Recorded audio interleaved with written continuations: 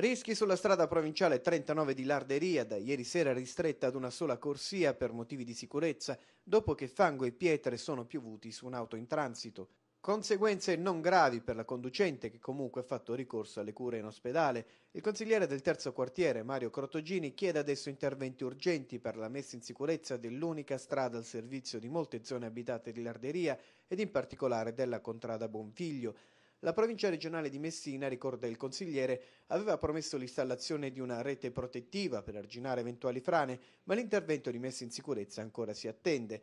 L'episodio di ieri ha prodotto l'avviamento di accertamenti tecnici sulla tenuta del costone confinante con la strada. Ancora una volta gli interventi emergenziali prendono il posto di quelli preventivi.